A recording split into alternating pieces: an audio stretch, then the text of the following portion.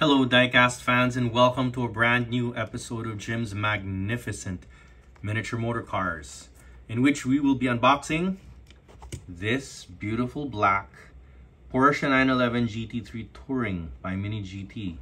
This is model 606, and it's actually the third color for this car. It was previously released in agate gray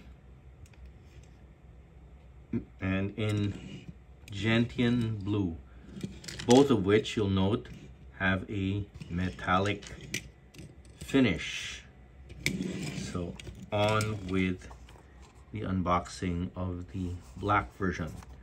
Curiously enough this car comes out almost a year to the day after the gentian blue dropped.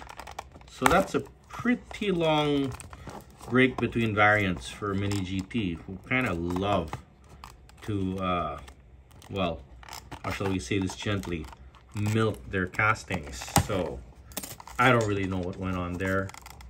But I do know that I'm quite glad to see another variant of the GT3 Touring because I really like it. Alrighty. So here we are.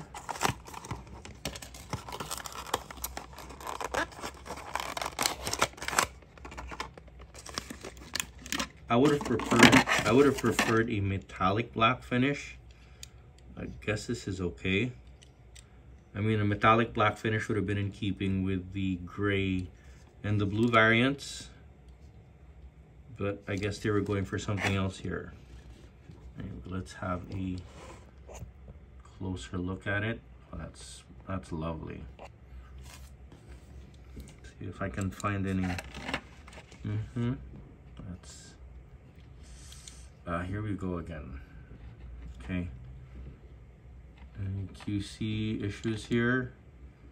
None that I can see. The mirrors appear to have been fitted just right. So, what do I think? I think she's a beaut, dear diecast fans. And I give this a 10 out of 10.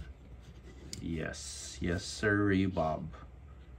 I mean, and that's considering that I'm not even a fan of black finishes. But here, the thing is, this is done so well. You know, it's, it's a nice glossy black too. It's not matte black, which kind of annoys me. It's so well done. So, yeah.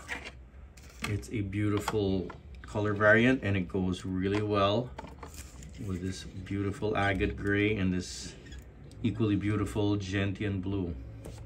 So yeah, how many more color variants of this car will they come up with? I really don't know. But considering what they've got so far, well, I'm really, really loving it. And that's it for this unboxing, Diecast fans. I hope you enjoyed it. If you're new to the channel and you like what you see, please do consider giving me a like and a subscribe and hitting that notification bell.